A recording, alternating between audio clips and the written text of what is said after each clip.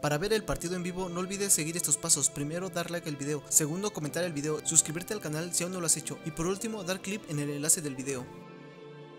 La pandilla no ha perdido de local en los últimos 5 partidos que ha jugado contra Toluca, ligando 4 triunfos en los más recientes encuentros en donde la pandilla siempre ha marcado 2 o más goles. Jugando en Monterrey, Rayados tiene un amplio dominio contra los Diablos, pues han sacado 13 triunfos, 10 empates y solo 5 derrotas. En estos partidos registran 46 goles a favor y 35 en contra. Es así como los Rayados de Monterrey recibirán la visita de los Diablos Rojos del Toluca en el estadio BBVA en un partido correspondiente a la jornada número 11 de la apertura 2021 de la Liga MX. La pandilla busca meterse de lleno a la pelea por un de los cuatro boletos que dan acceso directo a la liguilla del fútbol mexicano y una victoria ante los Escarlatas confirmaría el buen paso de los dirigidos por el Vasco Aguirre tras ganar el clásico regio. Por su parte, los Diablos vienen de pasarle por encima al Club América, empatándolos en puntos en el liderato de la clasificación, por lo que sumar puntos ante la pandilla los colocaría como líderes en solitario, aunque con un partido más en su registro.